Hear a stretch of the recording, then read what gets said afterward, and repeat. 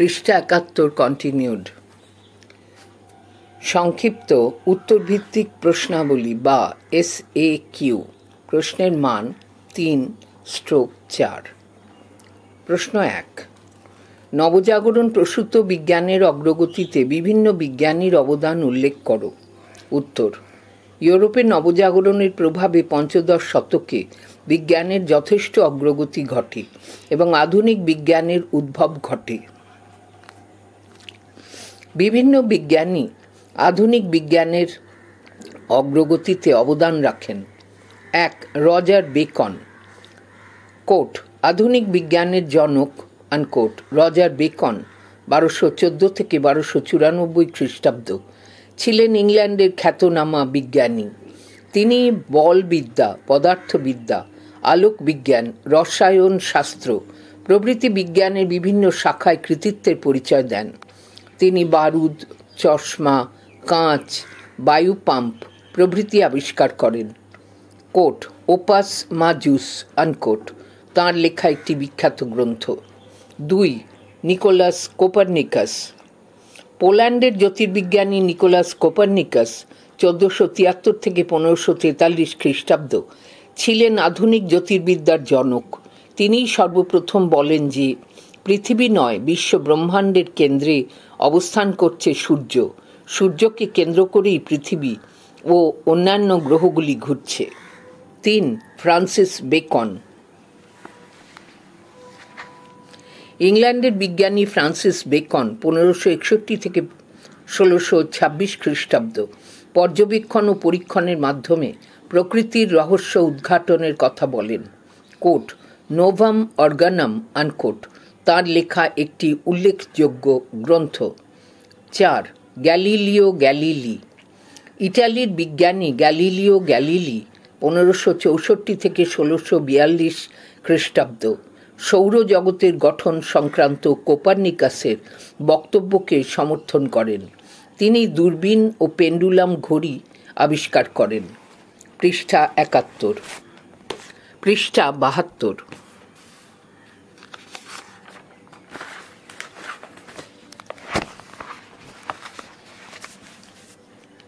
পাঁচ, Johannes Kepler. Johannes Kepler পনেরোশো একাত্তর থেকে ষোলোশো তিরিশ খ্রিস্টাব্দ। গাণিতিক পদ্ধতিতে বিভিন্ন গ্রহের গতিবিধি ও গতিপথ নির্ণয় করেন। তিনি মঙ্গল গ্রহের পরিক্রমণ পথ এবং সূর্য থেকে মঙ্গলের দূরত্ব নির্ণয় করেন।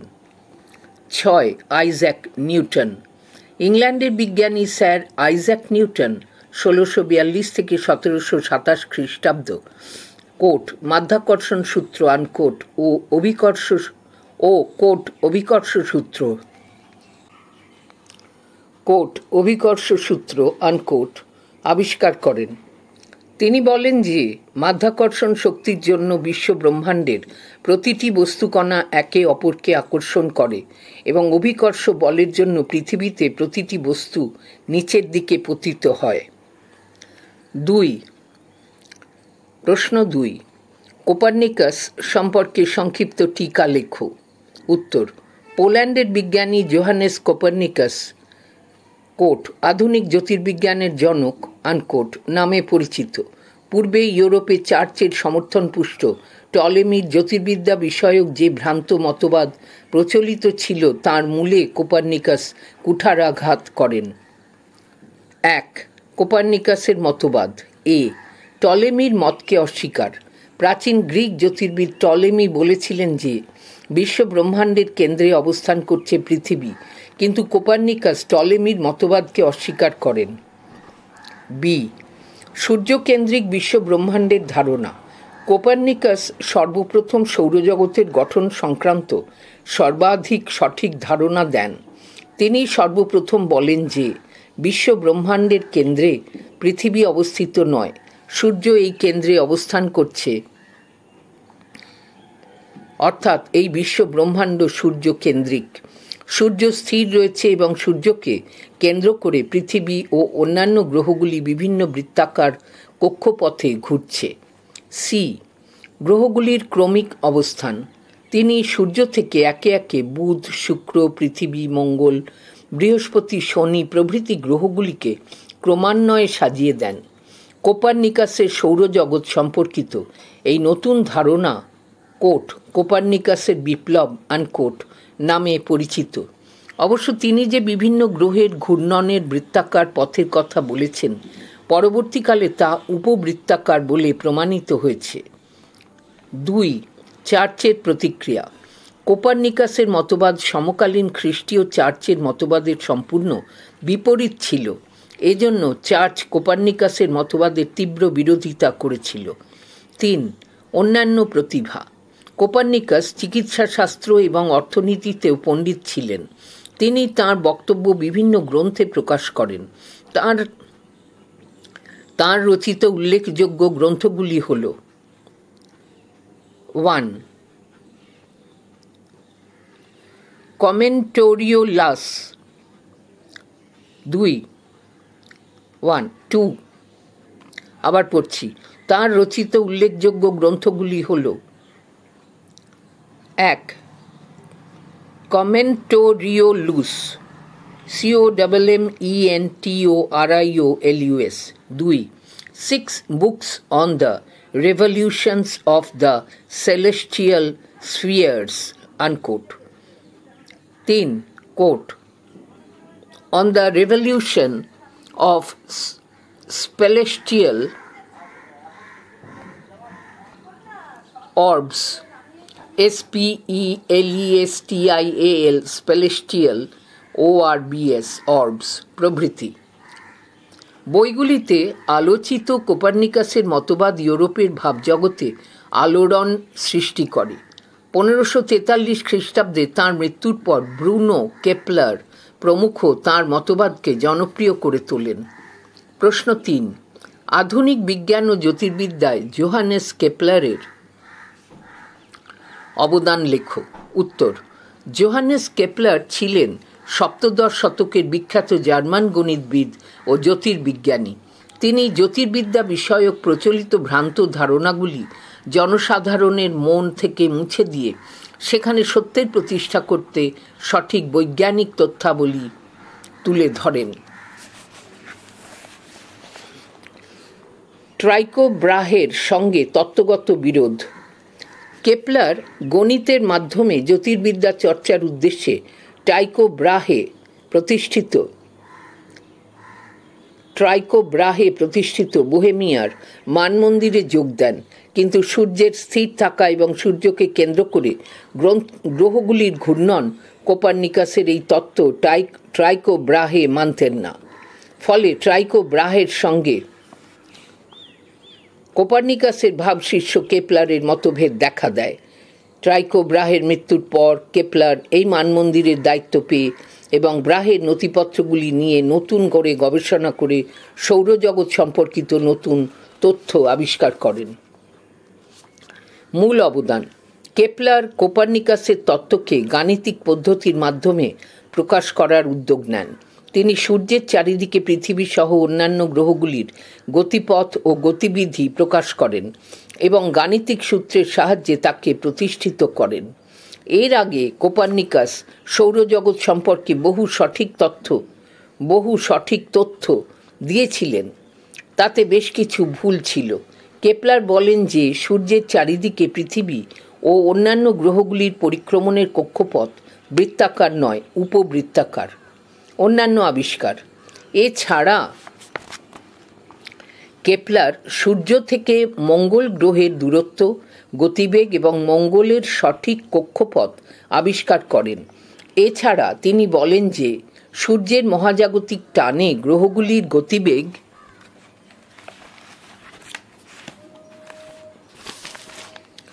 কখনো বৃদ্ধি, আবার কখনো হ্রাস পায়। পৃষ্ঠা তিয়াত্তর।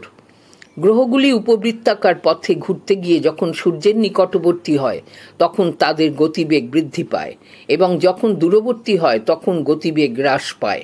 কেপলারের এই তত্ত্বের ওপর ভিত্তি করে পরবর্তীকালে বিজ্ঞানী নিউটন তাঁর মাধ্যাকর্ষণ তত্ত্ব আবিষ্কার করেন। শেষ জীবন। কেপলারের মতবাদ প্রচলিত রোমান চার্চের বিরোধী হওয়ায় কেপলারের মতবাদ প্রচলিত রোমান চার্চের বিরোধী হওয়ায় তার উপর চার্চের আক্রমণ নেমে আসে। তার স্কুল ও গ্রন্থাগার বন্ধ করে দেওয়া হয়। তার মাকে কারারুদ্ধ করা হয়। অশেষ দুঃখ নিয়ে নিঃসঙ্গ কেপলার ষোলোশো তিরিশ খ্রিস্টাব্দে মারা যান। জীবদ্দশায় কেপলার তাঁর দুঃখময় জীবনের কথা শোনানোর জন্য কাউকে পাননি। মহাবিজ্ঞানী আইজ্যাক নিউটন কেপলারের সূত্রের সাহায্যে তার বিখ্যাত কোট, মহাকর্ষ সূত্র আনকোট আবিষ্কার করেন। তাই আধুনিক জ্যোতির্বিদ্যা ও মহাকাশবিদ্যায় তাঁর অবদান কখনো ভোলার নয়। প্রশ্ন চার। আধুনিক বিজ্ঞান ও জ্যোতির্বিদ্যায় জিওর দান ব্রুনোর অবদান লেখো।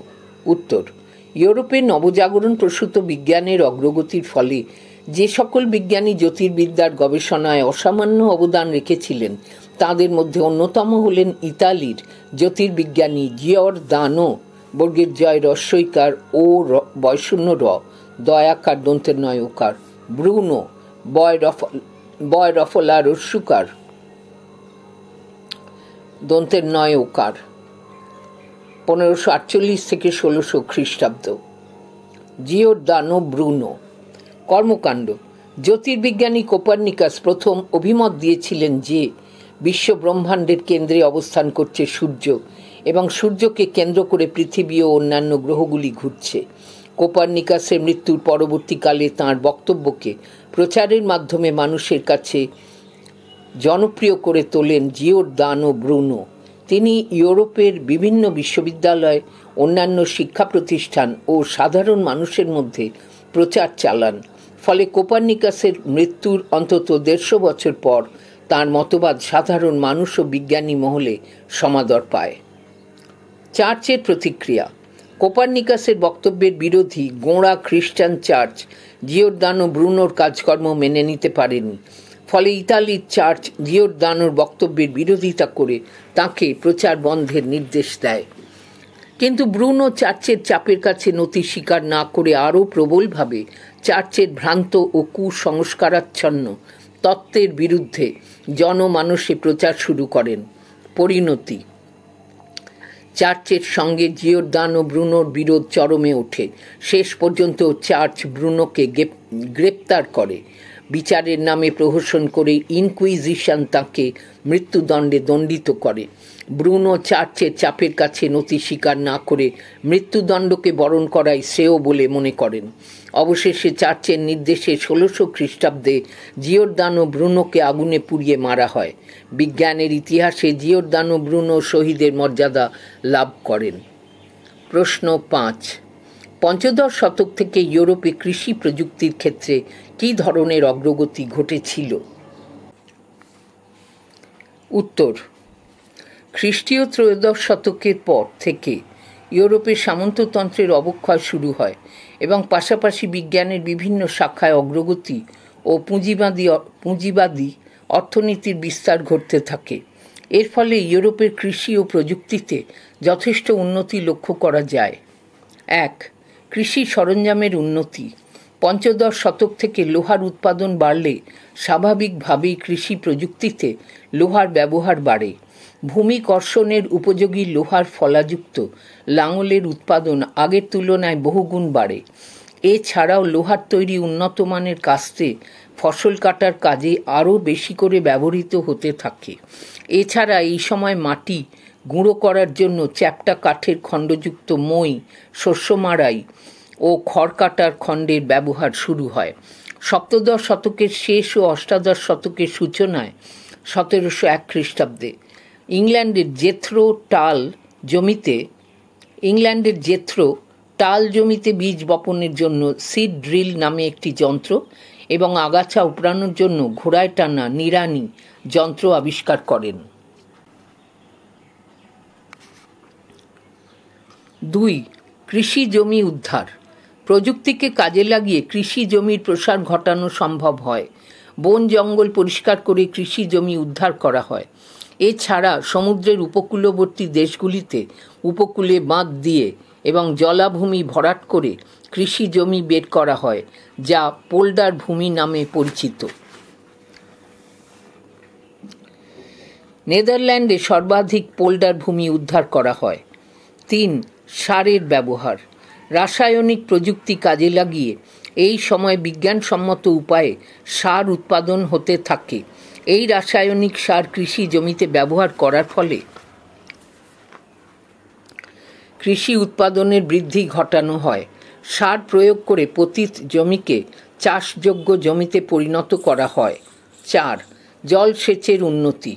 স্পেন সহ ইউরোপের অন্যান্য দেশে বায়ু শক্তিকে কাজে লাগিয়ে নদী ও খাল থেকে কৃষি জমিতে জলসেচের উন্নততর প্রযুক্তি প্রচলিত হয়।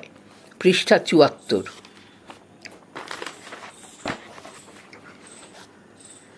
পাঁচ, নতুন ফসল উৎপাদনের সূচনা। কৃষিক্ষেত্রে নতুন প্রযুক্তিকে কাজে লাগিয়ে বিভিন্ন নতুন ফসলের চাষবাস শুরু হয়। রেশম, গুটি ও তুলোর চাষ চালু হয়। এছাড়া প্রচলিত ফসলগুলির পাশাপাশি গম জব আলু, টমেটো, ফুলকপি, গাজর, আখ প্রভৃতি ফসল ও সবজি উৎপাদন শুরু হয়। এই সময়ে ভারতবর্ষ থেকে আসা মিষ্টি কমলালেবুর চাষ জনপ্রিয় হয়ে ওঠে। প্রশ্ন ছয়, পঞ্চদশ শতক থেকে ইউরোপে শিল্প প্রযুক্তিতে কী ধরনের অগ্রগতি ঘটেছিল? উত্তর পঞ্চদশ শতক থেকে ইউরোপে আধুনিক বিজ্ঞানের জয়যাত্রা শুরু হলে শিল্পের বিভিন্ন শাখায় এবং শিল্প প্রযুক্তিতে অভাবনীয় অগ্রগতি লক্ষ্য করা গিয়েছিল। এক, বৈজ্ঞানিক যন্ত্রপাতির উদ্ভাবন। বিজ্ঞানের অগ্রগতির ফলে শিল্পের প্রয়োজনীয় বিভিন্ন বৈজ্ঞানিক যন্ত্রপাতির উদ্ভাবন ঘটে। জলচক্র বায়ুকল প্রভৃতি প্রযুক্তিকে কাজে লাগিয়ে শিল্প উৎপাদন বৃদ্ধি করা সম্ভব হয়। দুই শ্রম বিভাজন নতুন যান্ত্রিক কৌশলগুলি দক্ষতার সঙ্গে ব্যবহার করার ক্ষেত্রে শিল্প শ্রমিকদের শিল্প উৎপাদনের বিশেষ বিশেষ কাজে সুদক্ষ হওয়ার প্রয়োজনীয়তা দেখা দিয়েছিল। পাশাপাশি উৎপাদন বৃদ্ধিরও প্রয়োজন দেখা দেয়। এজন্য এই সময় শিল্প উৎপাদনে শ্রম বিভাজন রীতির প্রবর্তন ঘটে। তিন, ধাতুর ব্যবহার। এর আগে গলিত লোহা থেকে পিগ আয়রন পাওয়া যেত, যাকে শোধন করা বেশ শক্ত কাজ ছিল। কিন্তু ষোড়শ কিন্তু ষোড়শ শতকের শেষের দিকে ছোট ছোট লোহার শালের পরিবর্তে চালু হলো ব্লাস্ট ফার্নেস। ফলে সহজে প্রাপ্ত গলিত বিশুদ্ধ লোহা দিয়ে নানা ধরনের যন্ত্রপাতি নির্মাণ করা সম্ভব হলো। চার, খনিজ আকরের লভ্যতা বৃদ্ধি। নতুন প্রযুক্তিকে কাজে লাগিয়ে নতুন নতুন স্থানে বিভিন্ন ধাতুর আকরের সন্ধান পাওয়া যায়। আধুনিক প্রযুক্তিকে কাজে লাগিয়ে এই আকর থেকে ধাতু নিষ্কাশনের ফলে ধাতু উৎপাদন বৃদ্ধি পায়। পাঁচ, জাহাজ নির্মাণ শিল্পে অগ্রগতি। ধাতু শিল্পের অগ্রগতি ও প্রযুক্তির উন্নতির ফলে এই সময় জাহাজ নির্মাণ শিল্পেরও যথেষ্ট অগ্রগতি ঘটে। নবনির্মিত জাহাজগুলি পণ্য পরিবহন করে যেমন বাণিজ্যের প্রসার ঘটায় তেমনি অস্ত্রবাহী জাহাজগুলি যুদ্ধের কাজে ব্যবহৃত হতে থাকে। ভৌগোলিক অভিযানের দ্বারা বিভিন্ন নতুন ভূখণ্ডের সঙ্গে বাণিজ্যিক যোগাযোগ বৃদ্ধি পায়। সে কারণেই জাহাজ নির্মাণ শিল্পে জোয়ার আসে।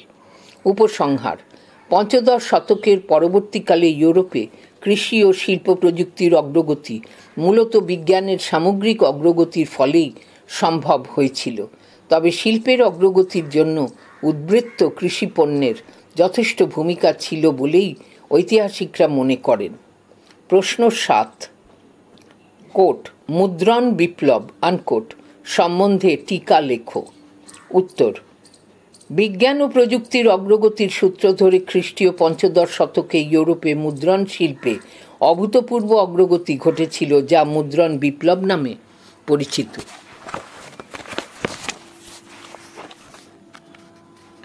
বিংশ শতকের প্রখ্যাত বিজ্ঞানী অ্যালবার্ট আইনস্টাইন মুদ্রণ যন্ত্রের আবিষ্কারের ঘটনাকে quote the permanent renaissance unquote বলে অভিহিত করেছেন। কাগজের প্রচলন।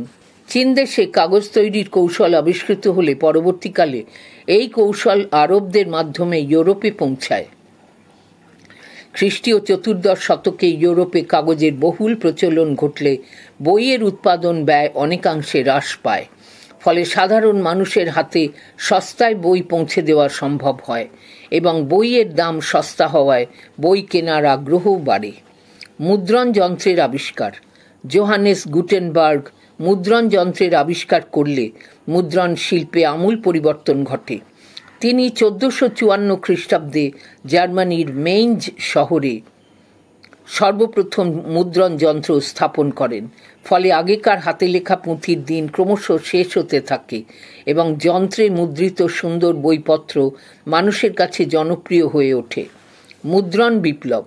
মেইঞ্জ শহরে মুদ্রণ যন্ত্র চালু হওয়ার পর ইউরোপের সর্বত্র দ্রুত মুদ্রণ যন্ত্রের প্রসার ঘটতে থাকে। পঞ্চদশ শতক শেষ হওয়ার আগেই ইতালি, ইংল্যান্ড, ফ্রান্স সহ ইউরোপের বিভিন্ন দেশে প্রচুর মুদ্রণ যন্ত্র স্থাপিত হয়। অল্প সময়ে প্রচুর বইয়ের মুদ্রণ খরচ অনেক কমে যায় এবং স্বাভাবিকভাবেই বইয়ের মূল্য সাধারণ মানুষের ধরা ছোঁয়ার মধ্যে এসে যায়। প্রশ্ন আট। পঞ্চদশ শতকে ইউরোপের মুদ্রণ বিপ্লবের বিভিন্ন বৈশিষ্ট্য উল্লেখ করো। উত্তর। মধ্য, মধ্যযুগে মুদ্রণ শিল্পের আবিষ্কারের পর ধীরে ধীরে তার উন্নতি ঘটতে থাকে। আধুনিক মুদ্রণ যন্ত্র তৈরি হওয়ার পর চিন্তা ও চেতনার আরও বেশি প্রসার ঘটতে থাকে। এক, মধ্যযুগের মুদ্রণ শিল্পের বৈশিষ্ট্য। মধ্যযুগের ইউরোপে মুদ্রণ শিল্পের কয়েকটি প্রধান বৈশিষ্ট্য লক্ষ্য করা যায়। এ, এই সময় যন্ত্রে ছাপার কৌশলের উদ্ভাবন না হওয়ায় পুঁথি হাতে পুঁথি হাতে লেখা হতো। বি হাতে লেখার ফলে আগেকার বইয়ের দাম খুবই বেশি হতো। দামের অনুপাতে হাতে লেখা পুঁথি খুব একটা চমৎকার হতো না। সি, তখনও কাগজ আবিষ্কৃত না হওয়ায় পার্চমেন্ট নামে পশুর চামড়ায় পুঁথি লেখার কাজ চলত। ডি, হাতে লেখা পুঁথির যুগে পুঁথি রচনার ওপর ধর্মীয় প্রতিষ্ঠান অর্থাৎ মঠগুলির নিয়ন্ত্রণ ও একাধিপত্য প্রতিষ্ঠিত হয়েছিল। দুই আধুনিক মুদ্রণ বিপ্লবের বৈশিষ্ট্য। পঞ্চদশ শতকের মাঝামাঝি ইউরোপে সংঘটিত মুদ্রণ বিপ্লবের প্রধান বৈশিষ্ট্যগুলি নিচে তুলে ধরা হলো। এ, কাগজের প্রচলন। ইতিপূর্বে চীনের কাগজ উৎপাদনের কৌশল আরবদের মাধ্যমে ইউরোপে পৌঁছয়।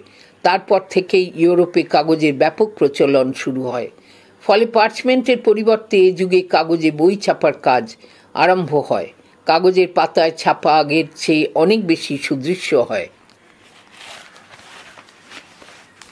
পৃষ্ঠা পঁচাত্তর। বি মুদ্রণ যন্ত্রের ব্যবহার। পঞ্চদশ শতক থেকে হাতে লেখার পরিবর্তে ধাতব টাইপ সাজিয়ে মুদ্রণ যন্ত্রের মাধ্যমে বই ছাপার কাজ শুরু হয়। জার্মানির মেইন শহরে সর্বপ্রথম চোদ্দোশো পঞ্চাশ খ্রিস্টাব্দ নাগাদ ধাতব টাইপের সাহায্যে ছাপার কাজ শুরু হয়। নতুন ধরনের এই মুদ্রণ যন্ত্রের আবিষ্কারে গুরুত্বপূর্ণ জোহানেস গুটেনবার্গ।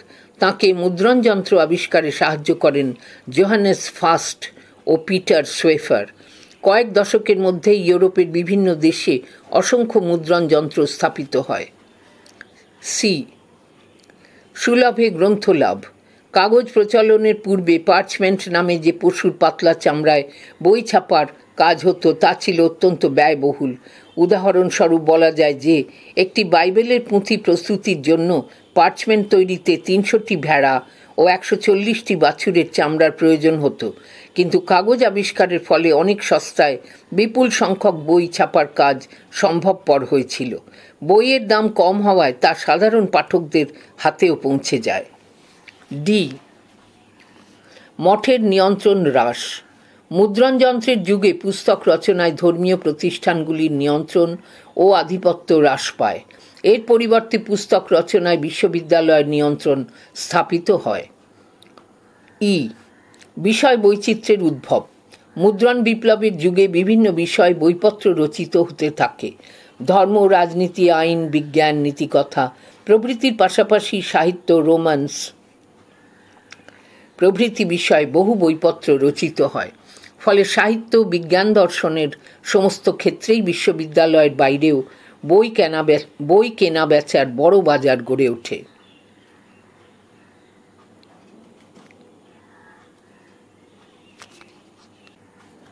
এফ.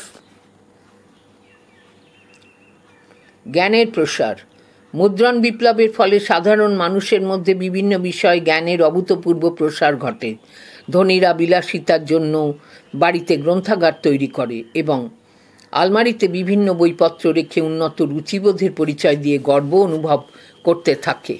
উপসংহার, মুদ্রণ বিপ্লবের আগের যুগে জ্ঞানের আরাধনা মুষ্টিমেয় মানুষের কুক্ষিগত ছিল। কুক্ষিগত ছিল। কিন্তু মুদ্রণ বিপ্লবের পর জ্ঞানের প্রকৃত বন্ধন মুক্তি ঘটে। এর ফলে ইউরোপের নবজাগরণ সার্থকতার পথে এগিয়ে যেতে সক্ষম হয়।